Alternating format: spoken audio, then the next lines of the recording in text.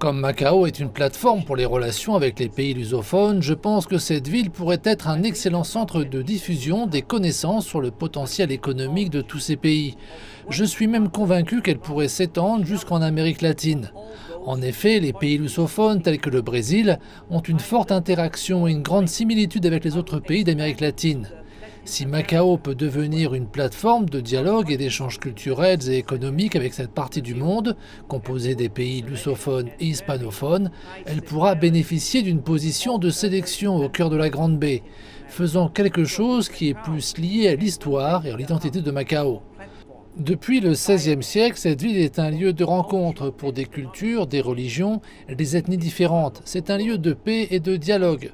Je crois que si nous, dans cette petite ville, pouvons promouvoir ce dialogue entre la Chine et tous les pays lusophones et hispanophones, Macao pourra remplir sa tâche historique en faisant partie de la Chine tout en ouvrant ses portes sur le monde extérieur, en particulier sur les pays latins.